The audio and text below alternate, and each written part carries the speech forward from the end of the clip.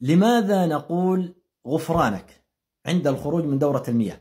ونقول أيضا بعد الفراغ من الوضوء اللهم اجعلنا من التوابين وجعلنا من المتطهرين. قبل ما نعرف الفائدة يا ريت تعمل لنا لايك واشتراك. بارك الله فيك. الفائدة كبيرة جدا ولا سنة فعلها النبي عليه الصلاة والسلام. وعلمنا إياها إلا لها فائدة عظيمة. فقولك عندما تخرج من الحمام غفرانك كأنك تدعو الله يا الله كما طهرت جسدي من الخبائث طهر قلبي من الذنوب والمعاصي. فتقول غفرانك والمغفرة تكون من الذنوب والمعاصي.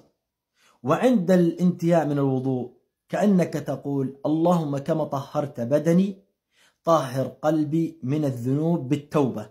ولا تكون التوبة إلا بعد المعصية. وهذه سنن النبي عليه الصلاة والسلام كلياتها فيها فائدة لنا وفيها خير. بس طبق السنة بارك الله فيك.